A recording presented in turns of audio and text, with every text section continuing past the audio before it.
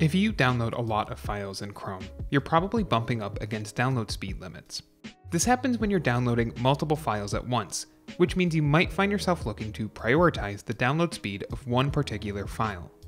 Thankfully, Google makes it easy to manage your download speeds in Chrome, limiting download speed while prioritizing specific files so that you can continue with your productivity.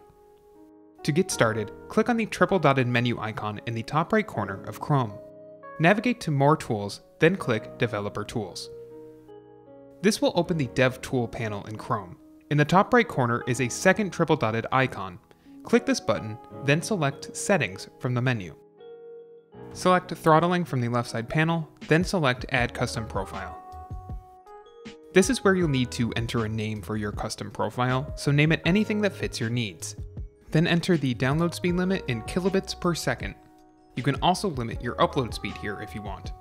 Remember, just because you enter a number here higher than your internet connection allows for, doesn't mean you'll automatically boost your download speeds, so keep that in mind before saving your file. Once you're set, click on the blue Add button to complete the process.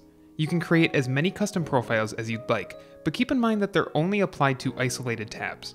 This means that the download profile you select only works in the tab from which you access DevTools. Your download and upload limit won't apply to any other open tabs, which is why it's important to name your custom profile with something easy to remember.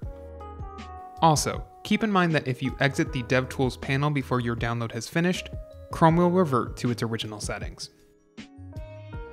If you like this guide, make sure you subscribe for all sorts of videos covering Chrome and other technology. And don't forget to check out one of these videos we think you might enjoy.